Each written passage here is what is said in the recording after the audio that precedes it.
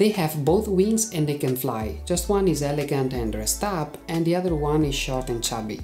It's not terrible. I'm talking about two figures that are really important in art, but that are often confused. Let's learn more about them.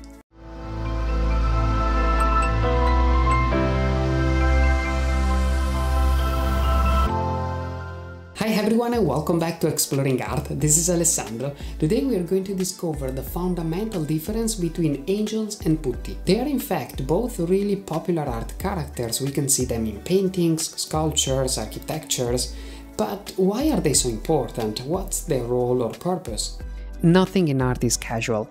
During this beautiful journey together, we are learning that every single detail is a symbol with a meaning, and that's true in particular for these figures that are often in background but present in many religious and non religious works of art. So let's start with the little chubby ones. Putto, plural putti, is an Italian word that comes from the Latin putus, meaning boy or child. Today it means either toddler winged angel or a bit less common toddler boy. Putti in fact can be depicted with wings or without, but for sure they are chubby male children usually naked. The reason of that difference goes back to the classical mythology. Winged infants were believed to influence human lives. The most famous one was for sure Cupid, the god of desire, erotic love, attraction, his Greek counterpart is Eros, who in classical Greek art is generally portrayed as a winged youth, but during the Hellenistic period he was increasingly depicted as a chubby boy. On the time, his iconography acquired the well-known bow and arrow that are visible everywhere on Valentine's Day. During the Middle Ages, Catholic religion changed the role of the putti from symbol of passion to a more religious meaning. However, because of this transition, they were not really popular and artists preferred to depict angels instead. In particular, to avoid troubles with the Catholic Church that it used to take that stuff really seriously back then. It's just with Renaissance, thanks to the rediscovery of the classical philosophy, that putti became really popular with a final explosion in Baroque art, since they were perfect to match the movement, exuberant details, surprise, and scenography typical of that style. In Baroque art, they represented also the omnipresence of God, but we cannot confuse them with the angels.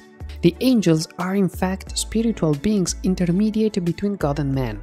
They are present in almost every culture and religion, however, the most common representations of them are as beautiful figures with big wings and elegant floating dresses.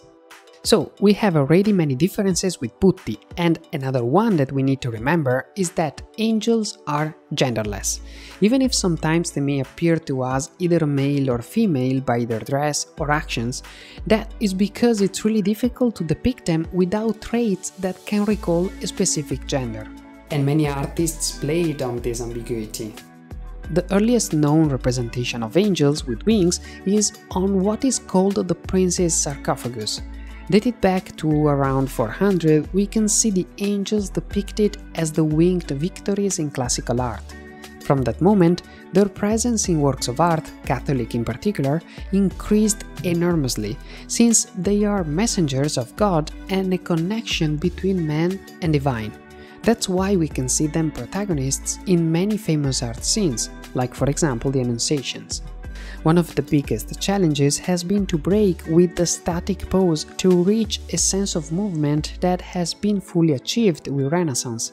The cloth was used to help suggesting the idea of lightness and flight, making them even more beautifully elegant. So these are the differences between Putto and Angel and I'm sure that from now on you will pay more attention to them in the works of art.